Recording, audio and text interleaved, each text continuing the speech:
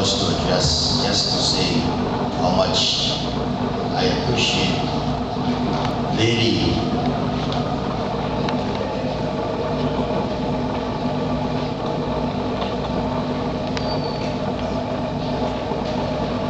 Davis who have given those kind words, encouragement to every one of us. My pastor, Bishop Swan, bless you, sir. All of the rest of the pastors and, and of course, I see our representative, Leslie, God bless you. And every time you get up to talk, I have feelings for your, your loss. So therefore, I will always say to you, sir, be encouraged. To my pastor, Pastor James Nuri, and the entire Nuri family, and the Henfield family. The Bible says that and as it is appointed unto man once to die, and after that, the judgment. Listening to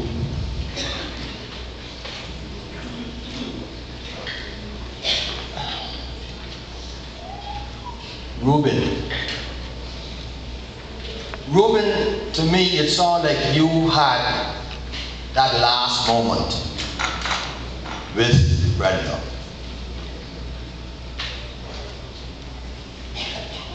But I'm here to tell you that all of us die. See, I, I, I only come to remind us that no matter how pretty you look, And some of us behave as though you don't want fly to touch you. But you could die. See, Brenda don't know that now. That she could have died. She already did that. But the living know that they must die. And so I say to every one of us, let's use this moment as a time for us to get ready. No doubt Pastor Dorsett going to preach to us this evening, and that will only remind us that, listen, make time to die. I tell somebody, in fact, I always tell my wife, I don't have to go back home. I don't have to go back in Golden Gates. I can take off from here, brother. See, because I live ready. Live ready. So that when the time comes, hallelujah, there is no maybe or must be or what happened to him. You know, he lived ready. So I'm saying to us, yes, Brenda was ready. And you too must find yourself in a spot where, listen, it makes no difference how my departure from here. Because none of us know that. But when you go from here, leave a testimony. Leave a testimony that it is well with my soul. I come by just to encourage the Nuri and, and the Henfields Yes, I, I, I, was beginning to worry this year because it's the only year that George celebrated his birthday off from us.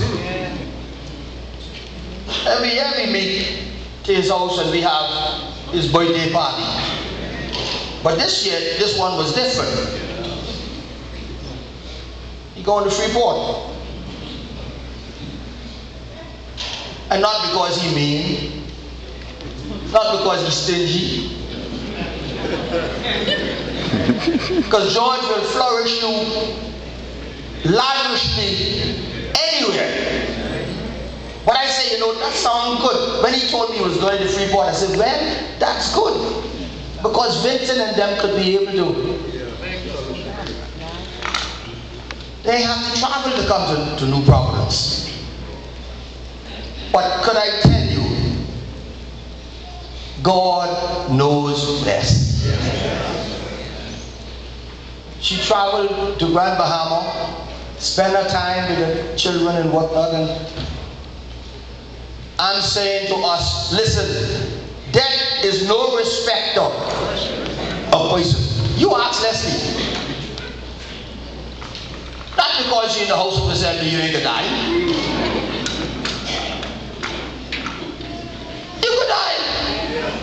So I'm saying to us, I'm saying to us, do for God's sake, do for God's sake, live ready.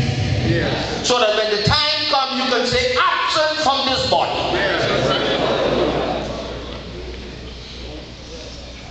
Sometimes we, we, we leave too much things, you know, out, when people got to fill in for you. No, don't need no filling in. no filling in. Child was a child of God. Brenda did not have a stingy bone in her. Not one. From the time I know her. Kind woman.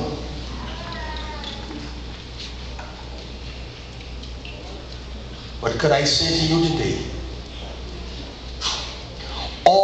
The tears, all what we will say here tonight can't bring Brenda back. She had to make that right with God.